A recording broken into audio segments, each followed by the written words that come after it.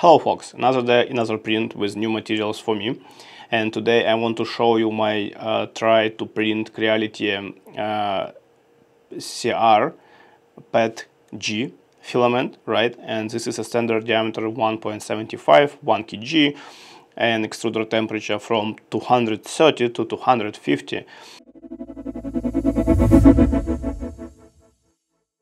So basically almost um, maximum so this is uh, the look of the filament in general, right? And I need to say that I was able to print several items. This is one of them, and you can check uh, texture of the surface. And I need to say that it looks really amazing, and it's very sleek uh, and pleasant on touch. And obviously, it's very sturdy. So I'm using this organizer for my stuff, what I need to, to place uh, inside. Um, and everything was okay. I mean, standard settings of the slicer, standard settings of the filament on my K2 Creality Plus printer.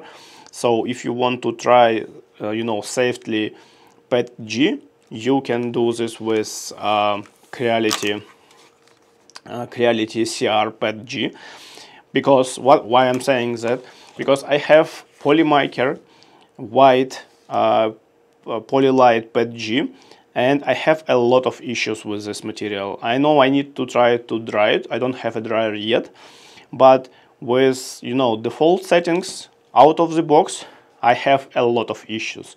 It's bending, it's not sticking to the uh, build plate, uh, it's you know uh, build up a blob and clock and all other issues for me, for example, with this PET-G.